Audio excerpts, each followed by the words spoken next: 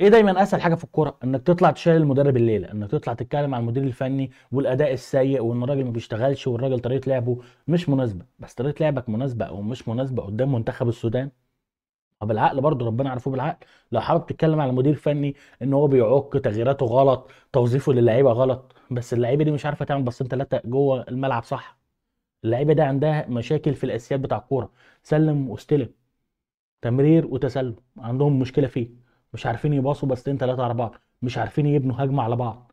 منتخب مصر اللي الناس كانوا بينتقدوا فكرة عبد الله السعيد ناحية الشمال 4 3 3 عبد الله السعيد النهارده طلع مان أوف ذا ماتش. بالنسبة للتقييمات كلها عبد الله السعيد واخد 8.1 اللي هو عبد الله السعيد أفضل لاعب في المباراة بالنسبة لمنتخب مصر. اللي هو أنتوا بتتكلموا في إيه؟ بتتكلم على طريقة لعب سيئة بتتكلم على توظيف كطريقة لعب وتوظيف مفيش أي مشكلة. المشكلة داخل الملعب. المشكلة إن إحنا ما عندناش خط نص وموضوع خط النص الجريمة الوحيدة اللي كارلوس كروش عملها تاني وتالت وعاشر و20 و50 هو عدم وجود طارق حامد. طارق حامد رمانة ميزان. طارق حامد وجوده أساسي. مصطفى محمد النهارده استمر المباراة كلها. مصطفى ضيع كام فرصة؟ ضيع واحدة بس اللي صدلها محمد مصطفى الحارس في كره ثابته كان لعبها له عبد الله السعيد عرضية. عبد الله السعيد اللي برضه هرجع أقول لك إن هو كان نجم المباراة. عبد الله السعيد الأسيست لمحمد عبد المنعم في الهدف في الكرة الثابتة برضو. عبد الله السعيد الوحيد اللي شاط من داخل منطقة الجزاء والحارس محمد مصطفى تصدى لها. محمد صلاح مش موجود النهارده. محمد صلاح ما جاش النهارده خالص. عمر مرموش النهارده ما جاش. الموضوع كان صعب بالنسبة لك في خط النص وخط الهجوم إن أنت مش عارف تباصي باصتين ثلاثة فتطلع تتكلم على مدير فني إيه؟ اللي تطلع تتكلم على إيه؟ مدير فني إيه؟ مدير فني ده بتتكلم معاه في الماتشات الكبيرة. مدير فني بتتكلم على تكتيك وبتتكلم على طرق لعب إنما أنت بتتكلم على مصر والسودان.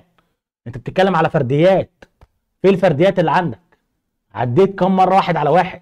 خدت كم مرة التحامات من فوق. خدت كم مرة second ball ما خدتش الكلام ده. يبقى تطلع تلبس المدرب. هي موضوع تلبيس مدرب وخلاص. مشيت أنا كارلوس كيروش النهارده. حاجة هتتغير ولا أي حاجة. هي اللعيبة هي هي. اللعيبة دي محتاجة وقت وصبر. علشان الفرقة دي ما بتتجمعش بقالها سنين. والسنين دي مسؤول عليها اتحاد الكوره وحسام البدري. منتخب مصر ما كانش بيتجمع لمدة سنة كاملة.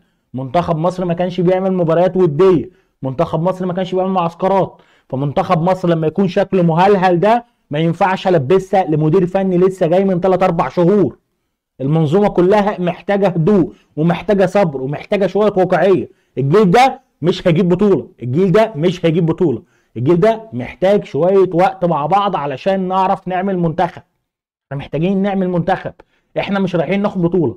لو أنا شايف ان منتخب مصر ما عملوا لو أنا جاي آخد بطولة. أنا مش جاي آخد بطولة. أنا جاي آخد ثقة. جاي أعمل مكاسب للكرة المصرية إن أنا أوصل أدوار متقدمة. انما أنا مش جاي آخد بطولة. بالمنظر ده أنا حتى لا عارف ألعب كورة ولا عارف أطلع بأي مكاسب.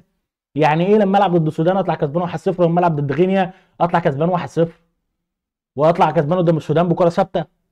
هو أنا ملط للدرجة دي؟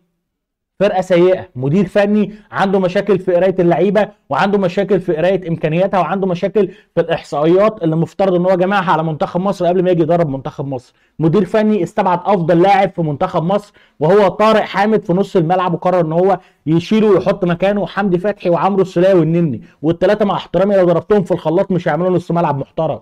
ولا هم ولا مهند لاشين الرابع بتاعهم. فاحنا بنتكلم على منتخب غايب عنه أهم نقطة في عالم كرة القدم الحديثة والقديمة وكل حاجة. نص الملعب. ما عندكش نص ملعب ما تستناش مني كورة. لا وكمان المهاجم اللي حيلتي مفترض إن هو كل ميزته في الضربات الرأسية والهوائية بلعب له عرضيات كتير والراجل بيحاول على قد ما بيقدر. مفترض إن أنا عندي لعيب من أفضل لعيبة في العالم بس لسه ما جاش مع البطولة.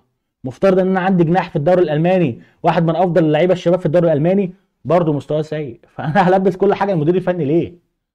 أنا ما عنديش طموح إن أنا أمسك مكان كروش ولا عندي طموح إن أنا أتكلم على تدريب منتخب مصر. فطبيعي إن أنا هتكلم على اللعيبة. أزماتنا في اللعيبة المشكلة في اللعيبة. كل اللي يقول لك إن الأزمة في مدير فني وإن إحنا عايزين نغير مدير فني ده طمعان له في حاجة. ده ما بيتكلمش على مصلحة الكوره في مصر. مصلحة الكوره في مصر الهدوء والصبر. هدوء وصبر. الفرقة دي محتاجة يتصبر عليها علشان تاخد حاجة. إنما لو ما صبرتش وما هديتش ولا تاخد أي حاجة غير حالة الدم والضحك. ده لو أنت مستني الفرقة تخسر عشان خاطر تخبط فيه. ما لعب ما خدش قفشة ما خدش طارق حامد ما لعبش محمد شريف. قال يعني محمد شريف لو كان موجود النهارده كان هيفرق أي حاجة. ولا مروان حمدي لما نزل فرق أي حاجة. أحمد سيد زيزو لما بينزل بيكون مميز جدا للامانه ده الوحيد اللي في تغييرة بتفرق معاك هو أحمد سيد زيزو. إنما الباقي كلهم شبه بعض وكلهم زي بعض. فأنا بتكلم على إيه يعني؟ منتخب مصر في بطولة للنسيان بيقدم أداء للنسيان بيضيع وقت الناس اللي بتيجي تتفرج عليه. منتخب مصر بيقدم كره كرة سيئة امتدادا للي بيتم تقديمها في الدوري المحلي المصري من قبل الأهلي والزمالك. منتخب مصر مستمر في العك. منتخب مصر مستمر في الجماهير اللي عندها طموح غير واقعية إن إحنا نيجي ناخد البطولة. وإحنا إمكانياتنا لا تخلينا ناخد البطولة ولا تخلينا حتى نوصل أدوار متقدمة. لو عجبك الفيديو بقى بعد كل الطاقة السلبية دي اعمل لايك. لو ما عجبكش فبراحتك. رأيك ويحترم وده برضه رأيي ومفترض إنك تحترمه.